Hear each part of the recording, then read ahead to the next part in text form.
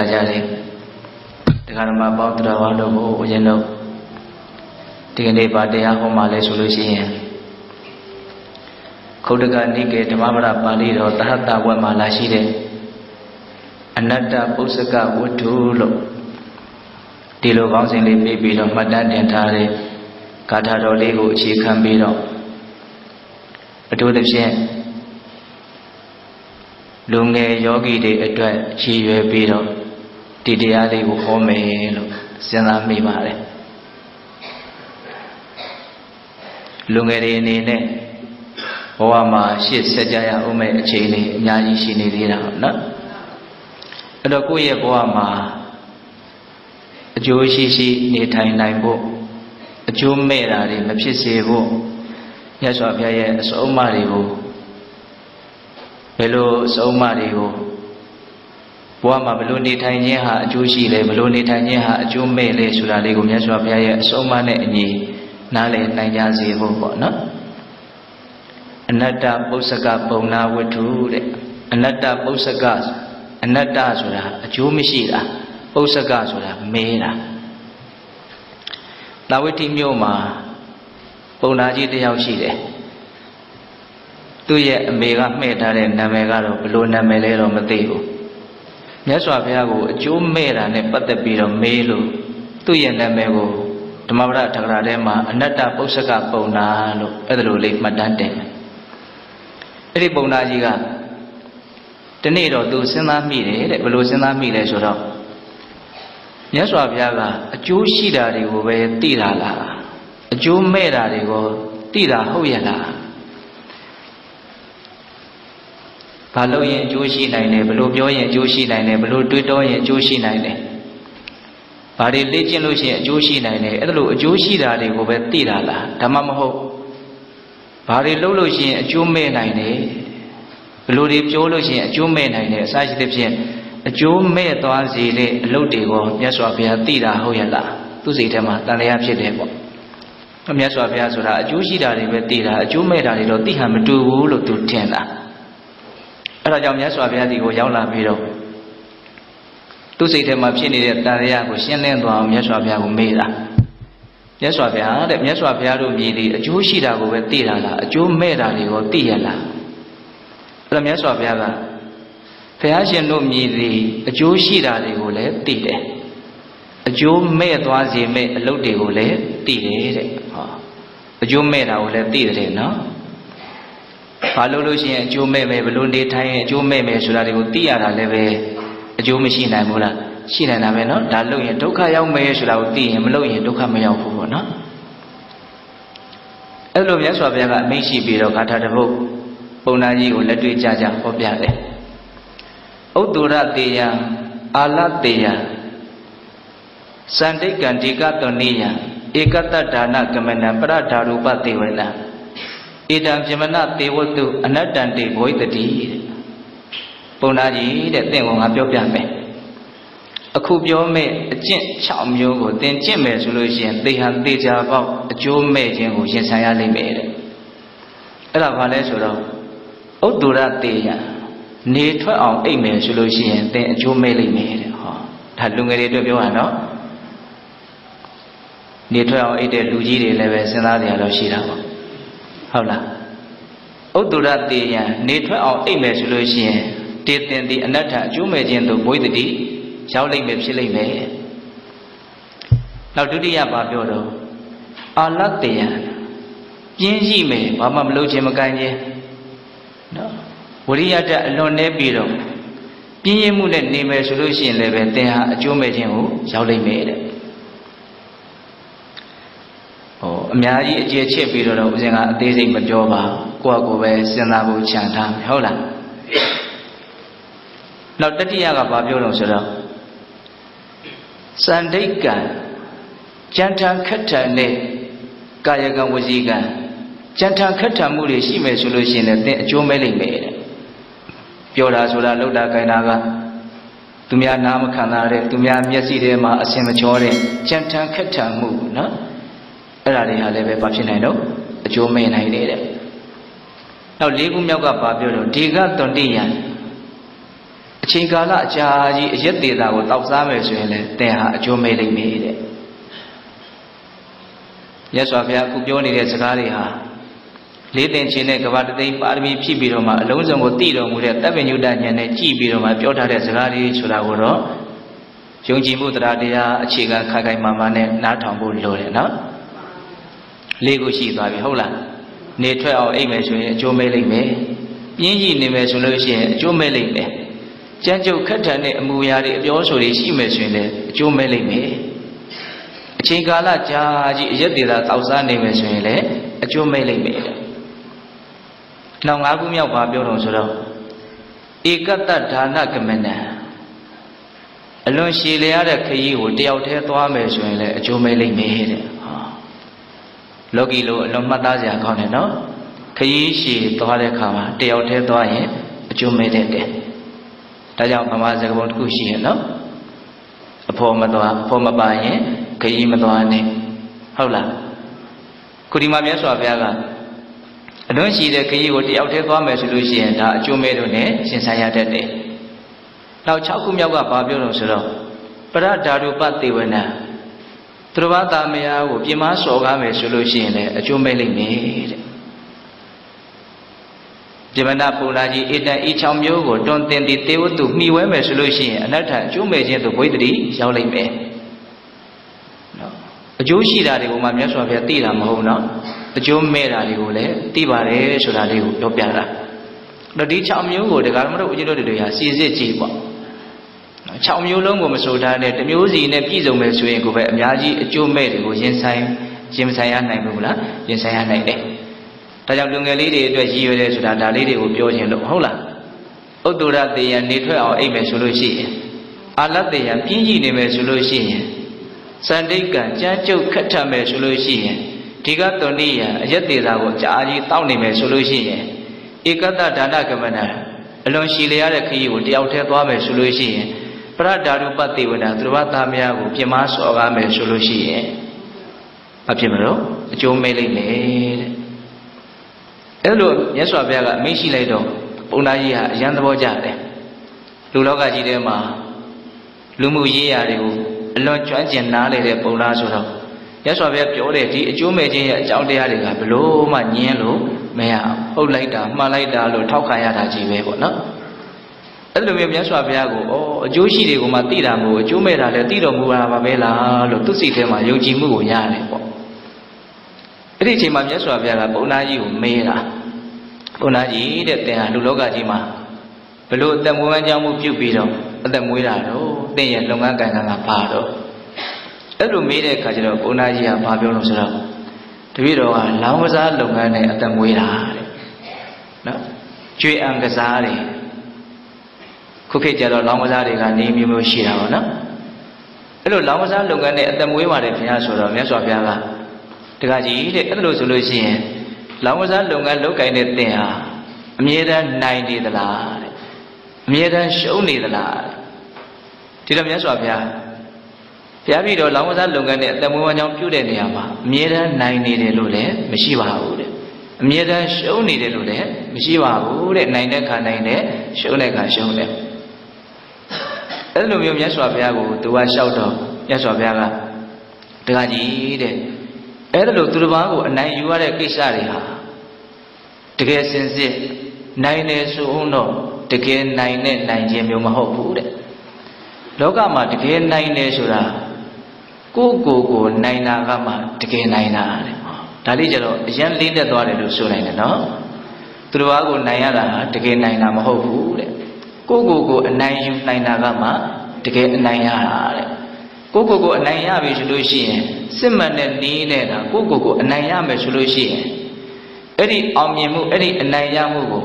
ဘယ်သူကမှထပ်မံရှုံးသွားအောင်လုပ်လို့မရဘူးတဲ့။ဘာလို့ဆိုသူကစစ်မှန်တဲ့အောင်မြင်မှုဒီနေရာပြစစ်မှန်တဲ့အနိုင်ရမှုဖြစ်နေလို့အဲ့ဒါကိုမြတ်စွာဘုရားကဂါထာလေးနှစ်ပုဒ်နဲ့ဟောပြတယ်။အတ္တဟဝေစိတံတေယောယောစာယဣတရမဇာ အတ္တတတတပောတတလိစ္ဆံသင်္ကြတစာရိနောတဲ့နေဝဒီဝနာကန္တဘောနာမာရောသဟပြမှုနောဇိတပါစိတကိတာတထာရူပတ္တဇံတုနောကာထာလေးနဲ့ပုံမြတ်စွာဘုရားဟောတယ်အဓိပ္ပာယ်ကဘာပြောလဲဆိုတော့အတ္တဟဝေဇိတံတေယောကိုကိုကိုအနိုင်ရခြင်းဟာအမျက်ဆုံးဖြစ်တယ်အမျက်ဆုံးသောအနိုင်ရခြင်းဖြစ်တယ် ကိုကိုကိုအနိုင်ရတယ်ဆိုတာဘာလဲဆိုတာကိုပြီးတော့နည်းနည်းလေးဦးဇင်းရှင်းပြပါမယ်ဟုတ်လားကိုကိုကိုအနိုင်ရခြင်းဟာအမျက်ဆုံးသောအနိုင်ရခြင်းဖြစ်တယ်ရောစာယဣတရမဇာတခြားတခြားသောအရာတွေကိုအနိုင်ရတယ်ဆိုတာကတော့မြင့်မြတ်သောအနိုင်ရခြင်းလို့မဆိုနိုင်ဘူးတဲ့ဘာလို့လဲဆိုတော့တဖန်ပြန်ပြီးတော့ရှုံးသွားအောင်မိတ်အနိုင်ရခြင်းတွေဖြစ်နေလို့အတ္တတတ္တကောတတ္တလိစ္ဆံတင်ညတစာရိနော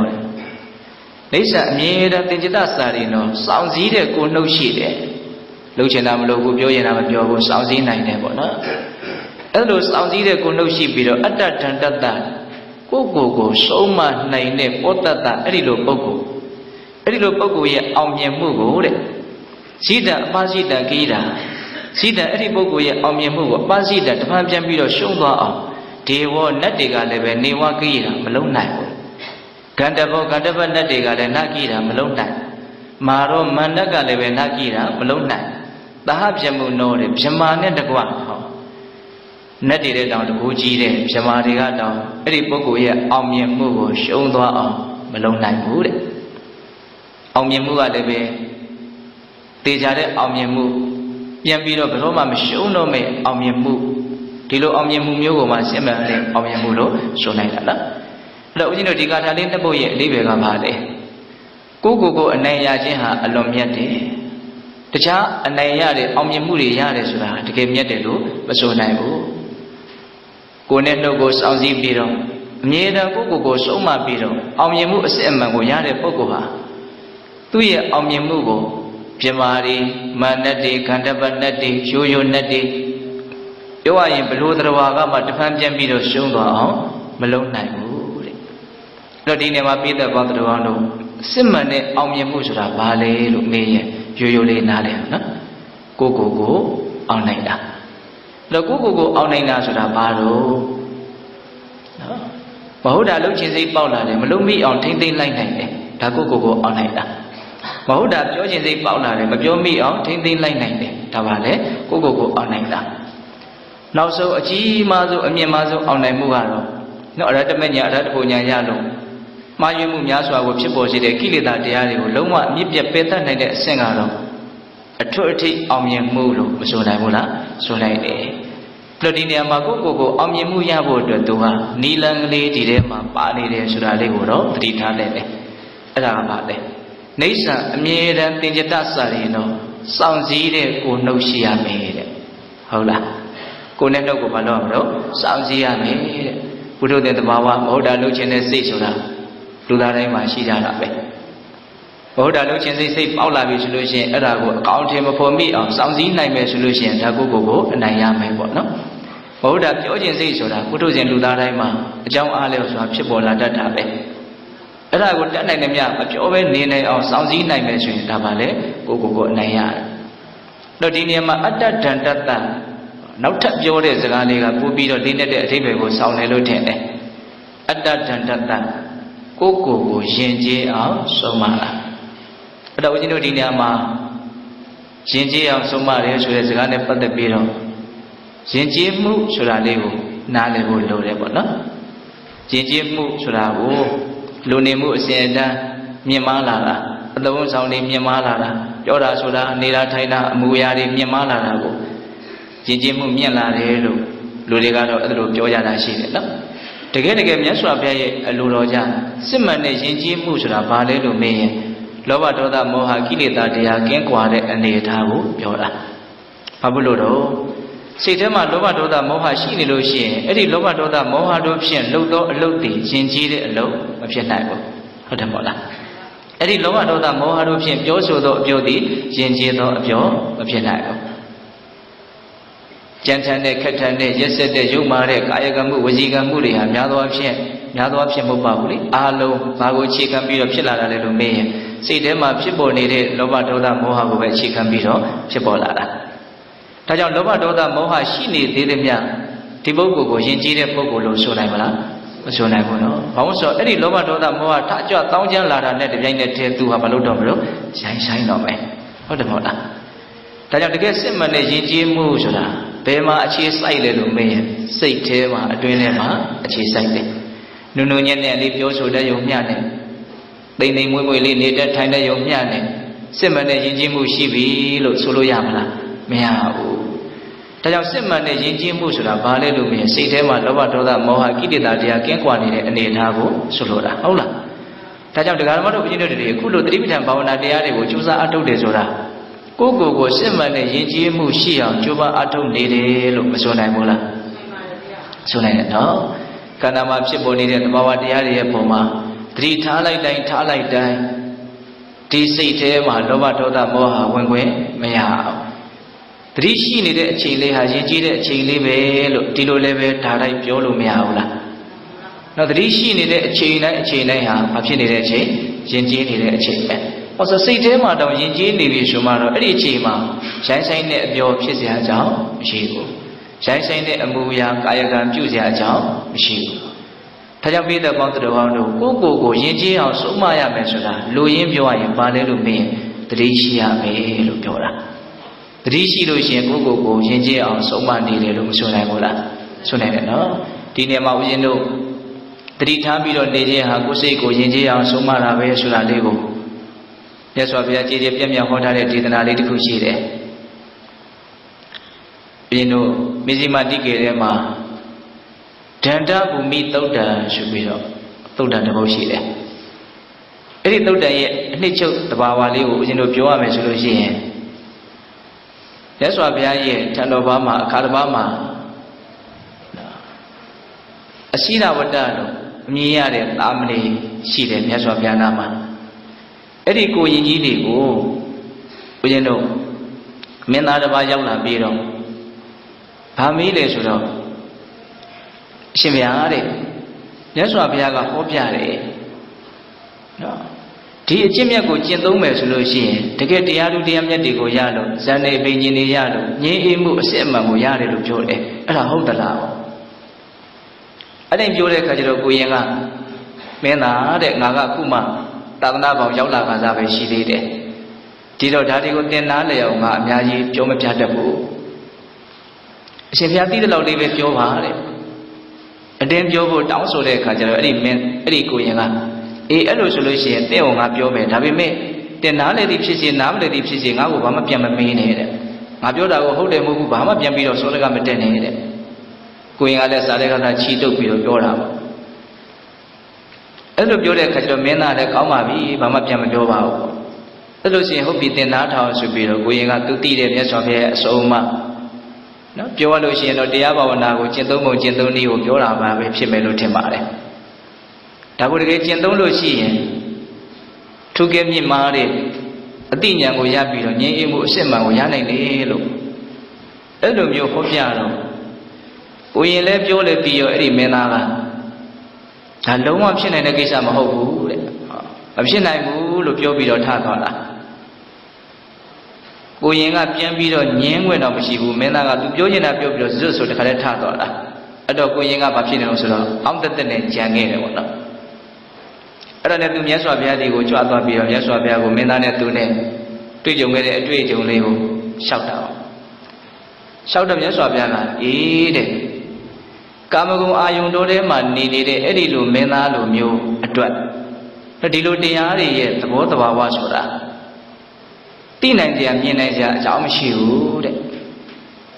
ကာမဂုဏ်အာယုန်တော်ထဲမှာပဲနေပြီးတော့ကာမကိုပဲတန်ဖိုးထားပြီးတော့ကာမကိုပဲရှာဖွေနေတဲ့အဲ့လိုမင်းသားအတွက်ဒီအလေးအကျင့်ပြုမှသိနိုင်မြင်နိုင်တဲ့ဒီသူတော်ကောင်းတရားကြောင့်ရရှိမဲ့စွမ်းရည်တတ္တိချမ်းသာဒုက္ခကိုအဲ့ဒီလိုမင်းသားမျိုးသိနိုင်ကြအကြောင်းမရှိဘူးတဲ့အဲ့ဒီလိုမျိုးမြတ်စွာဘုရားအမိန့်ရှိပြီးတော့ သင်ဟာတကယ်လို့အဲ့ဒီမင်းသားကိုအခုငါပြောတဲ့ဥပမာတွေကိုများပြောနိုင်မယ်ဆိုလို့ရှိရင်အဲ့ဒီမင်းသားဟာတင့်ကိုတေချာပေါက်ကြည်ညိုလိမ့်မယ်တဲ့အဲ့လိုမြတ်စွာဘုရားအမိရှိပြီးတော့အဲ့ဒီလိုမင်းသားမျိုးကိုပြန်ပြီးတော့ပြောပြတဲ့တဲ့စကားပေါ့နော်အဲ့ဒါကဘာပြောလိုက်လို့ဆိုတော့မြတ်စွာဘုရားဘယ်လိုဟောလဲဆိုတော့ဒါအနှစ်ချုပ်လေးဦးဇင်းကပြောပြတာလောကမှာတဲ့လိမ္မာအောင်ရင်ကြီးအောင်လိကျင့်ပစ်ထားတဲ့စင်လိမ္မာတွေမြင်းလိမ္မာတွေခွေးလိမ္မာတွေရှိတယ် အဲ့ဒီလိုစင်လိမ္မာတွေမြင်းလိမ္မာတွေလုတ်ပြတဲ့အလုပ်မျိုးကိုစင်ရိုင်းမြင်းရိုင်းတွေဟာလုတ်ပြနိုင်ကြကြောင်းမရှိဘူးတဲ့လုံနိုင်မှာမလားတော့စင်လိမ္မာတွေလုတ်ပြတဲ့အလုပ်မျိုးကိုစင်ရိုင်းဘယ်လုံနိုင်မလို့ဟုတ်လား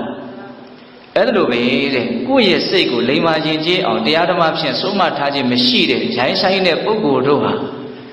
ကိုယ့်ရဲ့စိတ်ကိုတရားဓမ္မဖြင့်ဆုံးမထားတဲ့ပုဂ္ဂိုလ်တို့ရရှိခံစားတဲ့သိနိုင်မြင်နိုင်တရားကိုသိနိုင်မြင်နိုင်စရာကြောင်း မရှိဘူးတဲ့ပေးတဲ့ဥမာအရန်ကောင်းတယ်လို့ဆိုနိုင်တယ်နော်စင်လိမ္မာတွေလုတ်ပြတဲ့အလုပ်မျိုးကိုဆင်ရိုင်းနေမလုံးနိုင်ဘူး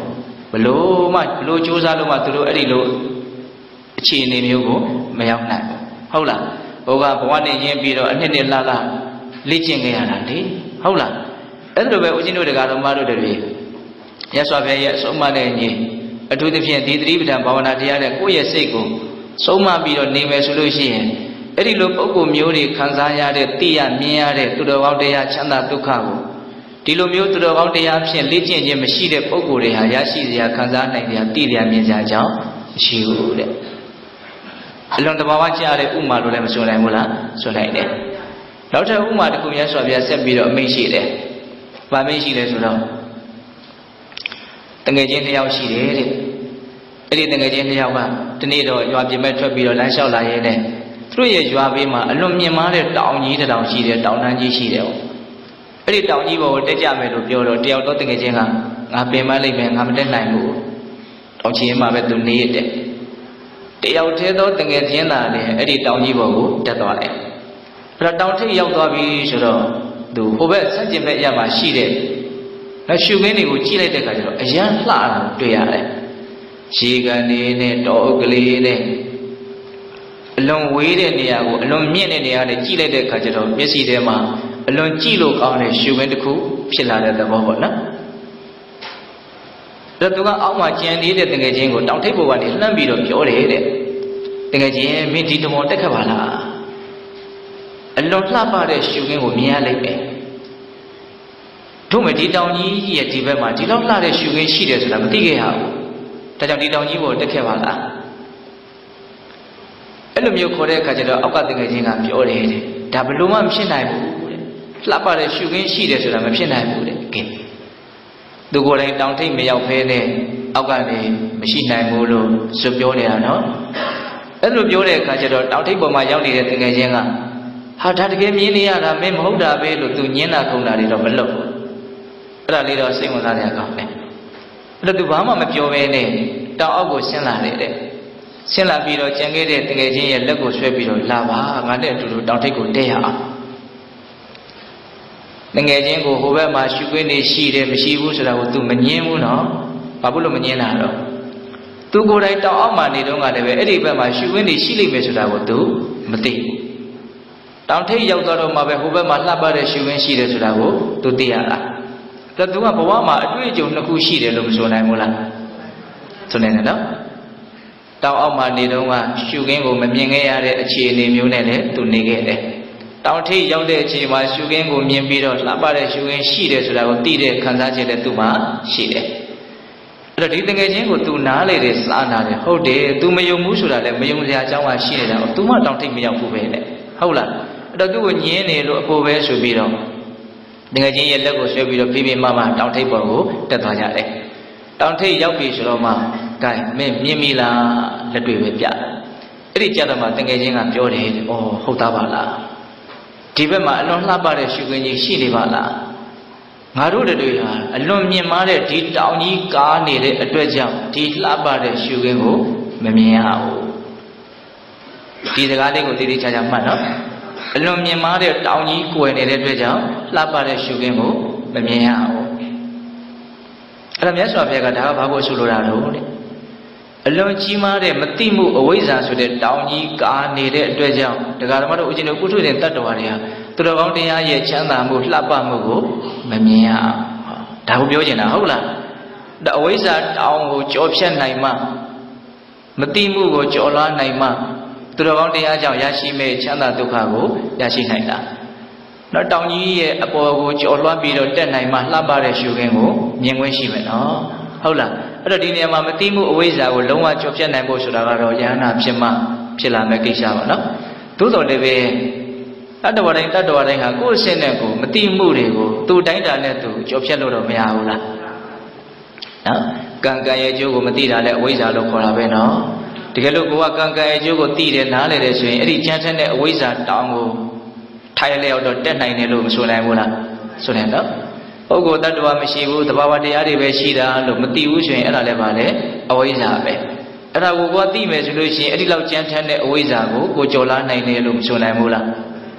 တဘာဝလောကကြီးဟာအကြောင်းအကျိုးဆက်ဆက်ပြီးတော့ဖြစ်ပေါ်နေတာတစုံတရာကဖန်တီးလို့ဖြစ်နေတာမဟုတ်အကြောင်းပဲဖြစ်နေတာမဟုတ်အကြောင်းအကျိုးတဘာဝတွေအမှန်ပဲလို့ဒီအကြောင်းအကျိုးတဘာဝအမှန်ကိုသိမြင်နားလည်မှုမရှိတာကိုလည်းဒါအဝိဇ္ဇာလို့ခေါ်တာပဲအဲ့ဒီအဝိဇ္ဇာကိုလည်းပဲကိုကသူတော်ကောင်းတရားကိုအထုတ်လို့ ဩဉာဏ်မျက်စိရှိတယ်မယ်ဖြစ်เสียအကြောင်းရှိလို့ဖြစ်လာတဲ့တဘာဝတရားတွေပါလားဘယ်ကမှဘွားကနေရောက်လာတာလည်းမဟုတ်ဟုတ်လားတစုံတရာကဖန်ဆင်းလို့ဖြစ်နေတာလည်းမဟုတ်သူ့အတူအကြောင်းအားလျော်စွာဖြစ်ပေါ်ပြောင်းလဲနေတဲ့သဘာဝတွေပါလားလို့သိလာရင်လည်းပဲအဲ့ဒီလိုကြမ်းထမ်းတဲ့အဝိဇ္ဇာကိုအထိုက်လျောက်ကြော်ပြတ်နိုင်တယ်လို့မဆိုနိုင်ဘူးလားနောက်ဆုံးသစ္စာလေးပါးကိုပိုင်းဖြတ်ပြီးတော့မသိဘူးဆိုရင်ဒါလည်းပါလေအဝိဇ္ဇာ အဲ့ဒီသစ္စာလေးပါးကိုပိုင်းခြားပြီးတော့သိအောင်ကြိုးစားနိုင်လို့မဲ့ညာပူညာကိုရခဲ့မယ်ဆိုရင်တော့အဲ့ဒီအဝိဇ္ဇာတွေကိုသူ့အဆင့်နဲ့သူကြော်ဖြတ်သွားနိုင်တယ်လို့မဆိုနိုင်ဘူးလားဆိုနိုင်တယ်အဲ့တော့ပြောနေတာကမတိမှုကိုကြော်လားနိုင်ရင်ကြော်လားနိုင်တယ်လို့သူတော်ကောင်းတရားကြောင့်ဖြစ်ပေါ်မဲ့ချမ်းသာဒုက္ခကိုရရှိနိုင်တယ်ဆိုတာကိုပြောရင်လားအဆုံးစွန်အဝိဇ္ဇာကိုအမြင့်ဖြတ်တတ်နိုင်မှသူတော်ကောင်းချမ်းသာဒုက္ခကိုရမယ်လို့ဆိုလိုတာမဟုတ်ဘူးနော်အဆုံးစွန်ကြော်ဖြတ်နိုင်မယ်ဆိုရင်တော့အဆုံးစွန်ချမ်းသာကိုရမယ်ပေါ့ အဲ့ဒီအဆင့်ကိုမရောက်သေးခင်ဈာကာလမှာလည်းပဲကိုကြော်လွှမ်းရင်ကြော်လွှမ်းနိုင်တယ်လို့မတိမှုကိုကိုဖြည့်ဆည်းနိုင်ရင်ဖြည့်ဆည်းနိုင်တယ်လို့ချမ်းသာဒုက္ခကိုမရနိုင်ဘူးလားနော်ကောင်းတဲ့စေနာတွေချမ်းသာစေတယ်ဆိုရတဲ့စေနာတွေဆင်းရဲစေတယ်ဒါကြောင့်ငါစိတ်ကောင်းနှလုံးကောင်းလေးမွေးမှဖြစ်မယ်လို့စိတ်စေနာရဲ့စွန့်ရည်တက်တီကိုသိမြင်နားလည်ခြင်းဟာလည်းပဲကြမ်းထမ်းတဲ့ကံကံရဲ့အကျိုးကိုမသိတဲ့အဝိဇ္ဇာကိုကြော်ဖြတ်နိုင်ခြင်းလို့မဆိုနိုင်ဘူးလားဆိုနိုင်တယ်နော်အဲ့ဒီလိုကြမ်းထမ်းတဲ့အဝိဇ္ဇာကိုတောင်မကြော်ဖြတ်နိုင်တဲ့တတ္တဝါတွေအများကြီးမရှိဘူးလား ရှိတယ်တခါတဆင့်တက်ဖို့လိုသေးတယ်တဘာဝလောကကြီးရဲ့အခြေအနေမှာတနည်းအားဖြင့်ကိုယ်ဘဝရဲ့အခြေအနေမှာဟောထင်နေတာကတော့ဘလို့ထင်နေကြတာတော့ပုဂ္ဂိုလ်တ attva လို့ထင်နေတယ်ငါလို့ကိုခိုင်ခိုင်မာမာဆွဲယူမှတ်ထင်ပြီးတော့နေနေတယ်ဖြစ်နေတဲ့တဘာဝတရားတွေကိုအပိုလိုမလုပ်ဖဲနဲ့လုံးဝဘဲလိုက်မှုမရှိဘဲနဲ့ဖြစ်နေတဲ့အတိုင်းတတိလေးထားပြီးတော့နေမယ်ဆိုလို့ရှိရင်ဩဒါဟာပုဂ္ဂိုလ်တ attva သဘောမဟုတ်ပါလားတက်တက်တဘာဝတရားတို့ရဲ့အစုအဝေးကြီးပါလား ငါဆိုတာတကယ်တမ်းမရှိပါလားတဘာဝတရားများစွာတဲ့ကတဘာဝတရားလေးတစ်ခုပါလားဟောအဲ့လိုမျိုးသိလာမယ်ဆိုလို့ရှိရင်အဲ့ဒီလိုနာမရူပပရိစေဒဉာဏ်အဆင့်ကိုတောင်မရောက်တဲ့မရတဲ့နော်မှားယွင်းတဲ့အဝိဇ္ဇာဖုံးနေတဲ့တရားတွေကြားထဲမှာသူဟာအဲ့ဒီလောက်ကြံထက်တဲ့အဝိဇ္ဇာကိုဖြည့်ဆည်းနိုင်တဲ့ပုဂ္ဂိုလ်လို့မဆိုနိုင်ဘူးလားဆိုနိုင်တယ်ဒါကြောင့်အစစ်စစ်မတိမှုတွေကိုကြော်လွှားနိုင်ဖို့လိုအပ်တယ်ပေါ့နော် ဒါမတိမှုတွေကိုဦးဇင်းတို့ကြော်လွှားတဲ့နေရာမှာအဓိကအသုံးပြုရမယ့်နိလန်းကဘာလဲလို့မေးရင်သတိပဋ္ဌာန်ဘာဝနာတရားပဲအဲ့ဒါဒီသုတ်တန်ကမဆုံးသေးဘူးအဲ့ဒီသုတ်တန်ထဲမှာမြတ်စွာဘုရားဆက်ပြီးတော့ဥမာလေးနဲ့ဟောတာဒါကမင်းသားကိုတဲ့သင်ကဒီဥမာနှစ်ခုကိုမြန်ပြောနိုင်မယ်ဆိုလို့ရှိရင်အဲ့ဒီမင်းသားကသင်ကိုအရန်ကြည်ညိုသွားမယ်ဆိုရင်အဲ့ဒါအံ့ဩစရာမရှိဘူးတဲ့ဟောမြတ်စွာဘုရားပြောပုံလေးနော်ဒီဥပမာနှစ်ခုကိုသာသင်တကယ်လို့အဲ့ဒီမင်းသားကိုပြောနိုင်မယ်ဆိုရင် အဲ့ဒီမင်းသားကတင့်ကိုတေချာပေါက်ကြီးညိုသွားလိမ့်မယ်လို့ဆိုလိုတာတကယ်လို့ကြီးညိုသွားခဲ့မယ်ဆိုရင်တော့အဲ့ဒါဘာလဲတော့အံ့ဩစရာမရှိဘူးတဲ့အဲ့တော့ကိုရင်ကမြတ်စွာဘုရားကိုရှောက်တယ်မြတ်စွာဘုရားတဲ့မြတ်စွာဘုရားရဲ့ဉာဏ်ထဲမှာပေါ်လွင်ထင်ရှားလာတဲ့အဲ့ဒီလိုဥမာမျိုးအဲ့ဒီလိုဉာဏ်မျိုးတပည့်တော်တို့ရဲ့ဉာဏ်ထဲမှာအဲ့ဒီလိုဥမာတွေဘယ်မှာလာပြီးတော့ပေါ်လာပါမလဲတဲ့ဒါမြတ်စွာဘုရားမူတာနဲ့ပြောနိုင်တာပေါ့နော်အဲ့တော့ဦးဇင်းတို့ဒီဥမာလေးနှစ်ချက်ကိုစွဲစီခြင်းတယ်ဟုတ်လား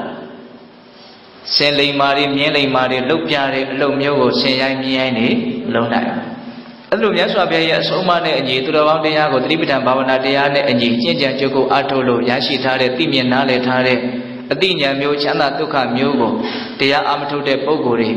မြတ်စွာဘုရားရဲ့အဆုံးအမနဲ့အညီကျင့်ကြံကြိုးကိုအားထုတ်မှုမရှိတဲ့ပုဂ္ဂိုလ်တွေဟာသိနိုင်မြင်နိုင်ခံစားရနိုင်ကြအကြောင်းရှိလားမရှိဘူးအဲ့ဒါကိုမှတ်ရမယ်နော်အဲ့လိုပဲဦးဇင်းတို့နောက်ဥမာကပြောတော့ အလွန်ကြီးမားတဲ့ဒီတောင်ကြီးကကာထားလို့လှပတဲ့ရှုခင်းကိုမမြင်ရအောင်ဟုတ်လားတောင်ကြီးဆိုတာဘာပြောတာတော့အဝိဇ္ဇာမတိမှုမတိမှုဟုတ်လားအဲ့ဒီမတိမှုကိုကြောဖြတ်နိုင်လေလေလှပတဲ့ရှုခင်းကိုမြင်ရလေလေသူရှင်တဲ့သူပေါ့ဟုတ်လားအဲ့တော့မတိမှုကိုဦးဇင်းတို့တွေဘာနဲ့ကြောဖြတ်မလဲလို့မေးရင်တတိထားတဲ့နီလန်းနဲ့ကြောဖြတ်ရမယ်ပမာဒဆိုတဲ့မေးလျော်မှုနဲ့သာနေမယ်ဆိုရင်တော့မတိမှုကပျက်စီးသွားကြအကြောင်းမရှိဘူး ထူထပ်လာတဲ့အကြောင်းပဲရှိရနော်ဟုတ်လားဒါကြောင့်သတိထားခြင်းဆိုတဲ့လုပ်ငန်းကိုကြိုးစားအထောက်ကြဖို့မလိုဘူးလားဒါကြောင့်မြတ်စွာဘုရားကယောဂဝိဇ္ဇာယတိပုရိအာယောဂပုရိသင်္ခယောသတိထားပြီးတော့လေ့ကျင့်ခြင်းလို့ဆိုတဲ့ဒီဝါယမကြိုးစားအထောက်တဲ့လုပ်ငန်းသည်အသိဉာဏ်ပညာကိုဖြစ်စေတယ်အသိဉာဏ်ပညာကိုဖြစ်စေတယ်ဆိုတာဘာပြောတာတော့မသိမှုကိုဖြည့်ဆည်းနိုင်တယ်လို့ပြောတာ ਨੇ အတူတူပဲမဟုတ်လားကြိုးစားအထောက်မှုမရှိဘူး တော့တတိနဲ့နေတဲ့အလေ့ကျင့်ကိုမလေ့ကျင့်ဘူးဆိုရင်တော့ရှိပြီးသားအသိဉာဏ်လေးတောင်ပျက်စီးသွားနိုင်တယ်ဟောသိချာနာထောင်နော်တတိနဲ့လေ့ကျင့်မယ်ဝရိယစိုက်ပြီးတော့တတိနဲ့လေ့ကျင့်မယ်ဆိုရင်အသိဉာဏ်ပညာဖြစ်လာလိမ့်မယ်ယောဂဝေဇာယတိပုရိအယောဂပုရိသင်္ခေယောတတိနဲ့မလေ့ကျင့်ဘူးဆိုရင်တော့ဉာဏ်ပညာမဖြစ်သွားဘူးဆွေးရုံသွားမယ်တဲ့ဒါကြောင့်မေတ္တာပေါင်းသူတော်ကောင်းတို့ အဝိဇ္ဇာတိဟုသောတောင်ကြီးကားနေလို့လှပတဲ့ရှုခင်းတိဟုသောသူတော်ကောင်းတရားကိုမသိကြမမြင်ကြလားစစ်မှန်တဲ့ချမ်းသာကိုမခံစားကြရလားဟုတ်လားဒါကြောင့်မသိမှုအဝိဇ္ဇာတောင်ကိုဖြတ်တန်းနိုင်ဖို့မလိုဘူးလားလိုတယ်အဲ့တော့မြတ်စွာဘုရားကနောက်ပိုင်းမှာဘလို့ဆက်ပြီးတော့ပြောတော့ဆိုတော့အေးတဲ့ကိုယ့်ရဲ့စိတ်ကိုလိမ္မာရင်ကျေးအောင်ဆုံးမတဲ့နေရာမှာနော်ဆင်ဦးသီးတွေလိမ္မာကျွမ်းကျင်တဲ့ဆင်သိန်းတွေဟာတောတွေကဆင်ရိုင်းတွေကိုဖမ်းပြီးတော့ နီးမျိုးစုံနဲ့လိမ္မာရင်ကျေးအောင်ဆုံးမသလိုမျိုးဆိုပြီးတော့အသေးစိတ်ရသော်ဗျာအဲ့ဒီမှာဥမာတွေပေးပြီးတော့ဟောတယ်အဲ့ဒါကိုဦးဇင်းတို့အနှစ်ချုပ်ပြီးတော့ပြောရမယ်ဆိုလို့ရှိရင်ရင်ကြီးတဲ့စိတ်ရှိလို့တဲ့ပုဂ္ဂိုလ်ဟာအစကနဦးဖြူရှင်တဲ့သီလပေါ်မှာအခြေခံပြီးတော့ခန္ဓာမှာဖြစ်နေတဲ့သဘာဝတရားတွေရဲ့ပုံမှာဒလဇက်တတိထားခြင်းလို့ဆိုတဲ့တတိပဋ္ဌာန်ဘာဝနာကိုပွားများပြီးတော့ကိုယ့်ကိုကိုယ်စိတ်ကိုရှင်ကြည်အောင်ဆုံးမရမယ်လို့ဒီလိုအနှစ်သာရအဖြစ်ထုတ်ယူရတယ်ပေါ့ ဒါကအဲ့ဒီသုတ်တန်လေးကိုအရင်ကအနှစ်ချုပ်ပြောတာနော်ဆင်ရိုင်းတွေကိုဆင်ဦးစီးတွေဆင်နေတွေကရင်နေတဲ့ဆင်နေနဲ့မြားပြီးတော့ဖမ်းနေအစင်းစင်းသူ့ကိုလိမ္မာရင်ကြည်အောင်ဆုံးမကြတယ်သင်ပြကြတယ်ဟုတ်လားနောက်ဆုံးရိုင်းနေတဲ့ဆင်ကြီးဟာမင်းပွဲစုပွဲဝင်သည်အထိလိမ္မာတဲ့ကျွမ်းကျင်တဲ့ရင်ကြီးတဲ့ဆင်လိမ္မာကြီးဖြစ်လာတယ်တန်ဖိုးရှိလာတယ်ပေါ့နော်အဲ့လိုပဲတရားဓမ္မတို့အရင်တို့ပုထုဇဉ်တတ္တဝါတွေကိုမြတ်စွာဘုရားက ဘလို့လိမ္မာရင်ကြီးအောင်ဆုံးမတော်မူတယ်လေဆိုတာလေးကိုအသေးစိတ်မြတ်စွာဘုရားအဲ့ဒီမှာဟောတာပါအဲ့ဒီအသေးစိတ်ဟောထားတဲ့ဒေသနာကိုအနှိမ့်ချုပ်ပြီးတော့ပြောလိုက်ရင်တီလမှာရက်တည်ပြီးတော့တတိပဒံဘာဝနာကိုပွားများခြင်းအပြင်ကိုယ်စိတ်ကိုလိမ္မာရင်ကြီးအောင်ဆုံးမနိုင်တယ်ဒါပြောတာနော်အဲ့တော့ဦးဇင်းတို့ပြောတာခုပြောနေတာကဒီကဒါလေးတွေကနေနော်ဘယ်ပိုက်ကနေထွက်သွားတာတော့အတ္တဒန္တတပောတတကိုကိုကိုလိမ္မာရင်ကြီးအောင်ဆုံးမတဲ့ပုဂ္ဂိုလ် နေဆံတင်ညတစာရီတော့အမြဲတမ်းကိုယ်နဲ့နှုတ်ကိုစောင့်ကြည့်တဲ့ပုဂ္ဂိုလ်အဲ့ဒီပုဂ္ဂိုလ်ရဲ့ရရှိထားတဲ့အောင်မြင်မှုကိုတဲ့နတ်တွေမြမာတွေမန်တွေ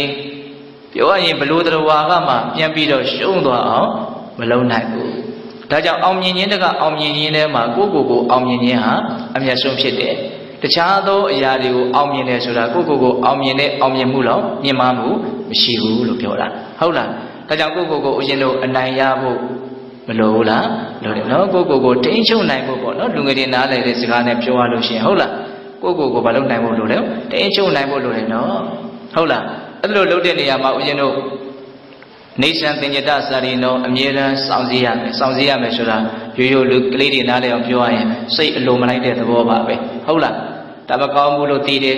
ဒါဆိုရင်မလုံးမိအောင်မပြောမိအောင်တတ်နိုင်တယ်မြမလုပ်ဖို့လို့တော့စောင့်စည်းဖို့လိုတယ်ပေါ့အဲ့ဒီစောင့်စည်းမှုကိုအခြေခံပြီးတော့ ဒလဇက်တတိထားပြီးတော့ကိုယ်စိတ်ကိုစုံမရမယ်ဟုတ်လားအဲ့တော့ဦးဇင်းတို့ခုသေကြံတွဲမှာတရားဘာဝနာများလာပြီးတော့ကြိုးစားအထောက်ကြတယ်ဆိုတာကိုယ်စိတ်ကိုလိမ္မာအောင်ယဉ်ကျေးအောင်ဆုံးမပုံဆုံးမနည်းကိုလာပြီးတော့သင်ယူတာလေ့ကျင့်တာလို့မဆိုနိုင်ဘူးလားနော်ဒါကတော့အသိဉာဏ်ရှိတဲ့လူတိုင်းယုံကြည်မှုထက်ထက်တန်တန်နဲ့ကြိုးစားအထောက်ကြရမယ်နီလန်တစ်ခုလို့ဒီလိုလည်းပဲဆွေးဆွေးမြဲမြဲနားလည်စေခြင်းတယ်ဟုတ်လား ဒါကြောင့်ပိဿပေါင်းသူတော်လည်းဒီကနေ့ညနော်အနတ္တပု္ပ္ပကပုံနာဝတ္ထုဆိုပြီးတော့မြတ်စွာဘုရားကအကျိုးရှိတာတွေကိုပဲသိတာလားအကျိုးမဲ့တာတွေကိုသိတာဟုတ်ရဲ့လားဆိုတဲ့သူ့ရဲ့တန်တရားနဲ့မြတ်စွာဘုရားကိုလာမေးလို့အဲ့ဒီကနေဆက်ဆက်ပြီးတော့ဖြစ်ပေါ်လာတဲ့ဒေသနာပေါ့နော်အဲ့တော့ဦးဇင်းတို့ပြောရတာလေးတွေကိုပြန်ပြီးတော့အနှစ်ချုပ်ကြည့်မယ်နော်အကျိုးမဲ့ကြောင့်တရား6ပါးကိုလည်းပဲလူငယ်တွေအနေနဲ့မမေ့နဲ့ဟုတ်လားကိုယ့်ကိုယ်လည်းအခြေချက်ပြီးတော့စဉ်းစား ဥဒ္ဒရတေယံຫນွေထွက်အောင်အိပ်မယ်ဆိုလို့ရှိရင်ဘာဖြစ်မလို့အကျိုးမဲ့လိမ့်မယ်နော်မြတ်စွာဘုရားရဲ့စကားတော်ကိုယုံကြည်မှုဘယ်လောက်ထိရှိလဲဆိုတာပုံမှာမူတည်ပြီးတော့ကိုဘယ်လောက်အလေးနဲ့ထားမလဲတန်ဖိုးထားမလဲဆိုတာတော့ဖြစ်လာလိမ့်မယ်ဟုတ်လားဥဒ္ဒရတေယံနေထွက်အောင်အိမ်မယ်ဆိုရင်အကျိုးမဲလိမ့်မယ်အာလတ်တေယံမလုံချင်မကန်းရင်းနဲ့ထားကြလုံးလာမရှိတဲ့ပြင်းကြီးနေမယ်ဆိုရင်လည်းပဲအကျိုးမဲလိမ့်မယ် ပြီးတော့ဗာပြောတော့စန္ဒိတ်ကံကြံထန်ခက်ထန်ပဲဆိုလို့ရှိရင်လည်းအကျိုးမဲ့ပဲနုညံ့သိမ်မွေးမှုမရှိဘူးပြောတာဆိုတာလှုပ်တာကိုင်းတာနော်ဒေါသအားကြီးတဲ့ပုံကိုယ်တွေလို့လည်းဆိုနိုင်တယ်ပေါ့နော်မှန်အားကြီးတဲ့ပုံကိုယ်တွေလို့လည်းဆိုနိုင်တယ်ပေါ့ပြီးတော့ဗာပြောတော့ဒီကတုန်နိယအရှိလေးမြင့်အယက်သေးတာတောက်စားမယ်ဆိုရင်လည်းပျက်စီးလိမ့်မယ်အကျိုးမဲ့လိမ့်မယ်ဧကတဒါနကမနံတယောက်တည်းခရီးရှည်သွားမယ်ဆိုလို့ရှိရင်လည်းပျက်စီးတတ်တဲ့အကျိုးမဲ့ဖြစ်တတ်တယ်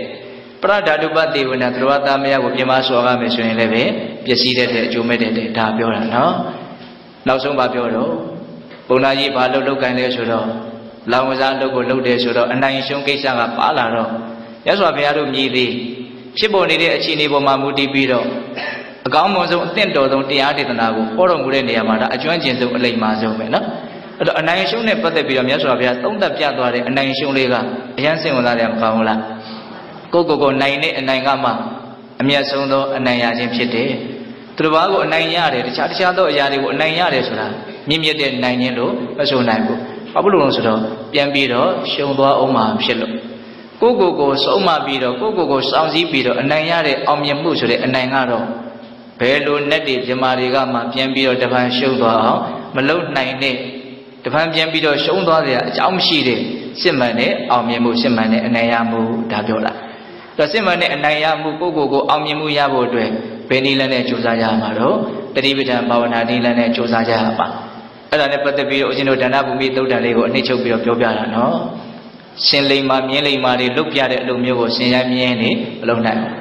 အဲ့လိုပဲတတိပဋ္ဌာန်ဘာဝနာတရားကိုပွားများပြီးတော့စိတ်ကိုလိမ္မာရင်ကြီးအောင်ဆုံးမထားကြတဲ့ပုဂ္ဂိုလ်တွေတိတဲ့အတိမျိုးကိုတရားအမထုတ်ကြတဲ့ပုဂ္ဂိုလ်တွေမသိနိုင်ဘူးတတိပဋ္ဌာန်ဘာဝနာတရားကိုပွားများလို့ရရှိကြတဲ့ပုဂ္ဂိုလ်တို့ရဲ့နော် ချမ်းသာမှုကိုတတိပဋ္ဌာန်တရားပွားများမှုမရှိကြတဲ့ပုဂ္ဂိုလ်တွေခံစားရနိုင်ကြကြောင်းမရှိဘူးဒါပြောတာနော်ပြီးတော့ဗာပြောတော့နောက်တစ်ခုကဒီအဝိဇ္ဇာတည်းဟူသောတောင်ကြီးကကာနေလို့လှပတဲ့တရားဓမ္မတည်းဟူသောချမ်းသာဒုက္ခအစစ်အမှန်တည်းဟူသောရှုခင်းကိုမမြင်ကြရဘူးမခံစားကြရဘူးဒါပြောတာနော်တောင်ကြီးကွယ်နေလို့လှပတဲ့ရှုခင်းကိုမမြင်ရအောင်တောင်ကြီးဆိုတာမပြောတာတော့အဝိဇ္ဇာ နော်ရှုခင်းဆိုတာမပြောတာတော့သူတော်ကောင်းတရားကိုသိရလို့ဖြစ်ပေါ်လာတဲ့ချမ်းသာမှုလို့အကျဉ်းမြင်နားလည်နိုင်တဲ့ပေါ့အဲ့ဒါဆက်ပြီးတော့မြတ်စွာဘုရားကကိုယ့်ရဲ့စိတ်ကိုဆုံးမတဲ့နေရာမှာဘယ်လိုဆုံးမမလို့ပြောလဲစင်ရိုင်းများကိုစင်သိန်းတွေဟာနီးမျိုးစုံနဲ့ဆုံးမသလိုမျိုးကိုယ်စိတ်ကိုလိမ္မာရင်ကြီးလို့တဲ့ပုဂ္ဂိုလ်တွေဟာစင်ကြယ်ဖြစ်စင်းတဲ့တန်ရှင်းတဲ့သီလမှာအခြေခံပြီးတော့သတိပဋ္ဌာန်ဘာဝနာကိုပွားများခြင်းအပြင်စိတ်ကိုလိမ္မာရင်ခြင်းအောင်ဆုံးမနိုင်တယ်ဆိုတာလေးကိုပြောတာဟုတ်လားဒါကြောင့်ကိုလုံနေတဲ့အလုတ်ရဲ့တန်ဖိုးကိုလည်းပဲ နားလေသွားရမရောက်ဘူးလားရောက်သွားတယ်နော်ဒါကြောင့်ပေးတဲ့ပေါင်းတော်အောင်တို့သည်အပမဒဆိုတဲ့တတိတရားလက်ကင်ထားပြီးတော့ဖြူရှင်တန်ရှင်းတဲ့သီလမှာအခြေခံပြီးတော့ဖြစ်ပေါ်တိုင်းသောသဘာဝတရားတွေအပေါ်မှာသတိထားပြီးတော့နေခြင်းလို့ဆိုတဲ့သတိပဋ္ဌာန်ဘာဝနာလုပ်ကိုစ조사အထုတ်ပြီးတော့ရှားနှုံးပြီးလိမ္မာရင်ကြီးရတဲ့နောက်ဆုံးမဉ္ဇဉ်ပုညမျက်နှိပ်ပံကိုမျက်မှောက်ပြုနိုင်ကြတဲ့သူတော်ကောင်းတွေဖြစ်ကြပါစေလို့ဦးဇင်းတို့ဆန္ဒပြုပြီးတော့ဒီကနေ့ညပေးတဲ့ပေါင်းသူတော်ကောင်းတို့ကြိုးပမ်းအထောက်ကြရသောဒါနသီလသမာဓိပညာ ကုသိုလ်ကောင်းမှုအစွတ်စွတ်တို့ရဲ့စွမ်းတတ္တိကြောင့်ဘုရားတပည့်တော်တို့သည်မဉ္ဇဉ်ပုညမျက်နှိပ်ပံကိုလင်းမြန်ထုံးချောက်မျက်မှောက်ပြုရစေကုန်သောဟု